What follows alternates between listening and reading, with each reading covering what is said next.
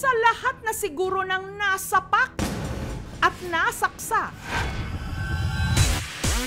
Siya lang ang nagawa pa ring maging poised. Nagmula sa kalangitan, lumagapak sa kalupaan, narito na sa inyong harapan ang nag-iisang diwata na mukhang kawatan.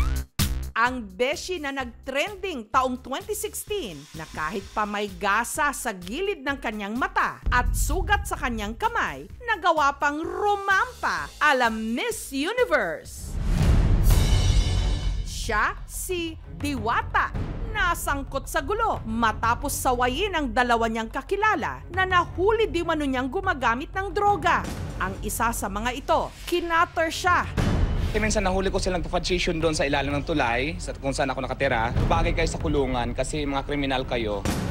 Tingnan mo ginawa mo sa akin. Ang ganda-ganda na mukha ko, sinira mo. Kamusta na nga ba ang nagreyna sa selda? Bring it on! 2024, si Diwata rumarampa pa rin ngayon.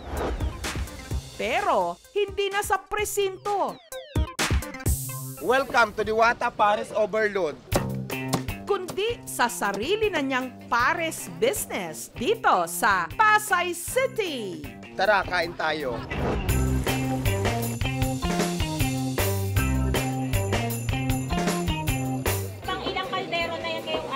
Ay nako, sobrang dami na. Siguro mga pang siyam na to, no? Walo, mga ganyan. Pag nag-unrice ka, ang gagawin mo pag nagbayad ka na, kuha ka na lang nakuha sabaw, kanin. Laman lang po ang hindi unmil.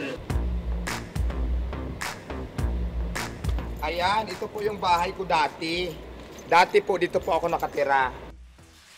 Kaluluwas lang daw noon ni Diwata ng Maynila mula Samar nung naging laman siya ng balita. Ito po yung bakas, yung piklat, yung sumira na maganda kong mukha. Ito mayroon pang natitira. At yung sa aking kamay mayroon dito. Hindi na masyadong kita. Ang mga nakabardagulan niya, napakawalan na raw ng mga otoridad. Nagkapatawaran na kami. Dating sumasideline si Diwata sa pagko-construction hanggang nagtinda rin siya ng kape, sigarilyo at candy. Hanggang sa may naipon na ako, bumili ako ng kaldero, bumili ako ng kalan, tapos nag-start na kami magpares. Maganda po ako sa afternoon. Libreng kiss lang po ako kaya ko ibigay sa ngayon na libreng kiss. Ang dati madalas uminit ang ulo sa mga pasaway, ngayon naiinitan na lang sa dambuhalang kalderong kaharap niya araw-araw. Package ko na, unli rice ka na, may free soft drinks ka pa, unli sabaw ka pa, for only 100 pesos. Siguro yun ang nagustuhan ng mga tao kasi sulit talaga. Saktuhan lang yung kinikita. At wag ka, ang dating nakatira sa tulay. Meron na ngayong disenteng tirahan. Simple lang pang bahay ko pero ang laki po ng pasasalamat ko dahil at least dito kahit simple lang siya at ah, sigurado naman ako na safe kaming lahat. Dati ang sasakyan ko bike lang ay nakabili na ako ng sasakyan na talagang pinaghirapan ko talaga. Nakakatuwa. Napapanood namin sa ano sa Facebook. Kaya sinubukan namin ni Mrs. kumain dito. Binabalikan namin ang tropa ko. Nakapat na kanin na po ako. Feeling ko nga akong dinadayo, pangalawa na lang yung ko. Caught on camera naman sa CCTV taong 2016 ang insidente ng pananaga sa barangay E. Rodriguez sa Quezon City. Sa simula, makikita muna ang isang lalaki na nakaupo habang nilalaro pa ang isang bata. Nang walang kung ano-ano, nilapitan siya ng isa pang lalaki at inambahan siyang iitakin.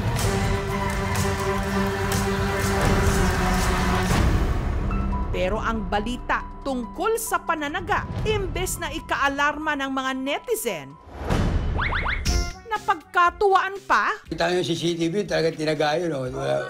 Malakas po yung guardian angel ko sa likod. Nakita ko, ginanon mo eh. Saan tumama yun? Hindi, baliktad yung baliktad. Pabaliktad. Ah, nakabaliktad. Baliktad. Ginaya ko lang si Bato sa'yo, binaliktad yung talim. and Bogsh, a meme was born. Naaalala niyo pa ba ang lalaking binansagang si Pinoy Batusay? Makalipas ang walong taon, dumayo kami ng Morong sa Rizal para kamustahin si Valentino. Mula raw nung siya'y nag-viral, niyakap na niya ang pagiging Pinoy Batusay. Katunayan, bago ang interview sa kanya ng aming team, si Valentino, eto, ipininta pa ang kanyang alias sa t-shirt. At saka isinuot para raw in character siya. Japan character ng ano yan eh. Warrior yan eh. Kenshin Himura, alias Batusay. Lagi pinapanood yan eh. Ayaw niya nang pumaslang, kaya binaliktad niya yung talim. Ginaya ko, para hindi ako makapaslang. Best friend daw talaga niya ang lalaking muntik na niya noong mataga. Sabi kami kumakain, saan siya pupunta, magkasama kami. Ninong nung anak ko lalaki. Hanggang nagkasulian ng araw sila ng kandila nung nagkaroon sila ng pagtatalo. Nagsumbong yung anak ng kumpare ko na itong asawa ko pinagbumura niya. Bale, pinatawag kami sa barangay. Sabi ko, okay na to. Para magkaayos na ng mabuti. Parang nakilala ko sa hindi magandang paraan. Sabi ng mga bata, ay gagayahin ko siya. Parang bad image yung ginawa ko, di ba? Kaya nagsisisi rin ako. Ang suot niyang t-shirt nung araw na siya'y nanaga, i-display ni Valentino sa kanilang dingding. Dating t-shirt yan, tapos pinutol ko na lang. Habang ang itak na ginamit niya, Ano sadya mo rito sa aking tindahan? Yung itak na ginamit ko doon sa... ibinenta niya kamakailan lang kay Boss Toyo. Kilala ko na to! Si Batusay! Yan! Si, si Batusay! Yes, yes. Herald Sword. May talim eh. Hindi, pagtaga ako, binaliktad ko. Magkano mo ito binibenta ngayon? 30. 30 ta. Alam mo, mahirap tumawag sa ganito kasi baka mamaya maganito. Oo, tayo mo na. Ilalayo ko muna. Kasi mahirap na. Oh, Hanggang 25, pwede. mataas to. Mataas. 16,000 last. Ayan na. Parang gitna. 16,000. Sige, sige. Okay. So, din maraming maraming salamat na pasaya mo ako. Binenta ko na kasi nung mga panahon, wala akong trabaho nun eh. Okay naman, nakatulong naman sa akin. Dadalhin niya sa museum niya eh. Kakaiba na yung mga dinadalo dito. Samantala, ang lalaking tinaga ni Valentino na malakas daw ang guardian angel, Pandison! kapitbahay pa rin niya ang tindero ng pandesal na si Chris. Dahil nga doon sa kumari ko, kaya nag-away kami. Na, na sigawan ko yung kumari ko. Nakarating kay Tino. Kaya siyempre, kahit sino naman magalit yung asawa.